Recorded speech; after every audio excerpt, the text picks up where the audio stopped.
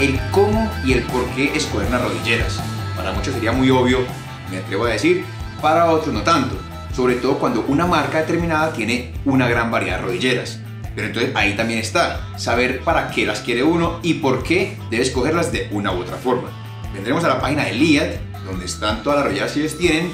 Les mostraré unas cuantas que yo no tengo porque no soy fan de ellas, pero les mostraré otras en vivo y en directo que las tengo aquí a mi lado porque sí las uso constantemente. Cuando uno llega a la página, entonces vamos a ver todas las rodilleras que tiene Liat, que de hecho tiene una cosa muy bonita, que pocas marcas ofrecen diferentes colores. Aquí entonces vemos las Dual Axis, que son las que mayor protección tienen. Vemos que protege rodilla, obviamente, y parte de la canilla, ¿cierto? Estas tienden a ser más largas que las demás. Si vemos entonces en especificaciones, estas tienen 25 puntos, son las que más puntuación tienen en ir de protección y las que más pesan. Todo empieza a variar según lo que uno quiera arriesgar y lo que uno quiera eh, sentirse cómodo. Pasamos entonces a las siguientes rodilleras. Estas vienen siendo las Hybrid EXT, que estas que tienen, vemos entonces claramente, tiene rodilla y tiene esta parte en la canilla. A diferencia de las anteriores que veamos esta parte robusta, plástica, que obviamente es más peso, estas empiezan a bajar el peso. Pasamos ya de 800 y pico que pesan las anteriores, pasamos a pesar 700 gramos. No es gran diferencia porque sigue siendo pesada por las rodilleras, pero tiene ya 19 puntos de protección, variando de 25 a 19. Estas también son más largas, protegen mucho más. En muchas ocasiones, la gente cuando ve este tipo de rodilleras piensa que porque ve este blanco, este plástico acá, tiene mayor protección, pero esto es todo lo contrario. Cuando esta parte dura recibe un impacto, el impacto pasa directo a donde está aquí atrás la pierna. En otras ocasiones, cuando tenemos, digamos ya con las que vamos a seguir, que tenemos un material especial que absorbe el impacto, entonces a veces protege más. Entonces ya tenemos estas que van bajando de 25 a 19 y bajaron ciento y pico de gramos. Seguimos entonces con las híbridas que ya no son las Hybrid XT, sino las Hybrid, que tenemos de variación, que es más corta la espinilla o la canilla, aquí esta parte nos está faltando, comparada con la otra, en general es la misma que la anterior, solo que más corta. Igual, vemos que tiene menos peso, obviamente va a variar, baja 150 gramos y pasa de 19 a 17 puntos de protección. También, acuérdense que las rolleras deben quedar ajustadas, porque entre más grande le quede a uno, más se le resbala. Y una vez más, tenemos blanca y tenemos negra. Siguiente par de rodilleras. Con estas ya puedo empezar a mostrarles en vivo en directo. Tenemos las Airflex Pro. Peso 300 gramos. Pasamos entonces de 550 a 300 gramos. Y tienen 15 puntos de protección.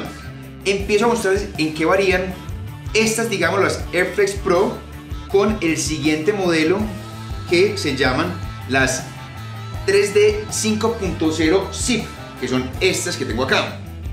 Y las últimas que sacaron de Liat, que son las Airflex.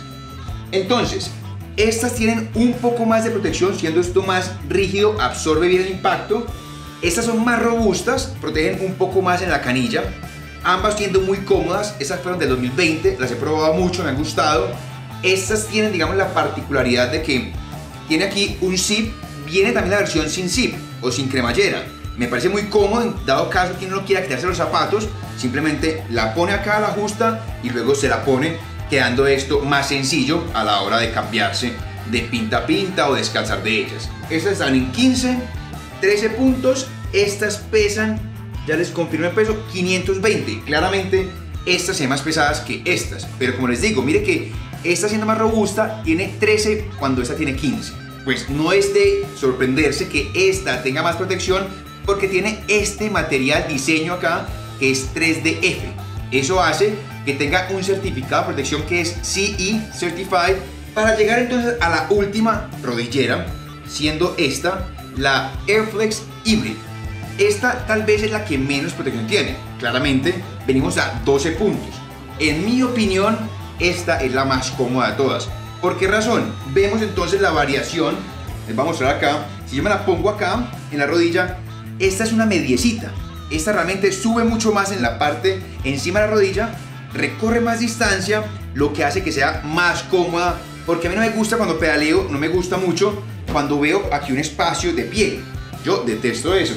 Con esta no pasa. Esta al igual tiene una muy buena capa acá de un material que es como pegajoso, que es un adhesivo, por así decirlo, que se adhiere mucho a la piel. Tengan cuidado, cuando uno se las deja pegadas acá por muchas horas del día, tiende a quemar. No es que estén mal hechas, no es que tengan un problema. Simplemente que como se pegan también, generan cierta irritación.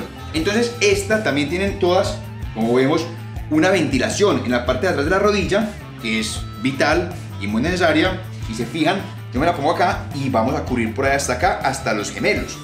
Si pongo acá la otra que es muy de enduro, entonces vemos que cubre mucho menos. En mi opinión, si quieren hacer, digamos, trail o enduro suave, yo me iría con esta. Si de pronto son más endureros, un poco más hardcore, un poco más agresivos, puede ser esta o podría ser esta. Y ya si queremos pasar a downhill, pues ya estamos hablando de este modelo, en mi opinión. Ya si ustedes son obsesivos con la protección, con cuidarse, con que el impacto sea más suave, digámoslo así, o que entre más tengan de protección, más confiados están. Vimos entonces las que van desde 25 hacia abajo en puntuación. Y ahí llegan a estas tres últimas, que son las que yo he venido usando. Ahí les dejo pues, espero sea un poco no tan enredada esta explicación, porque hay muchas opciones, pero pues hay que saber por qué escoger y cómo escoger.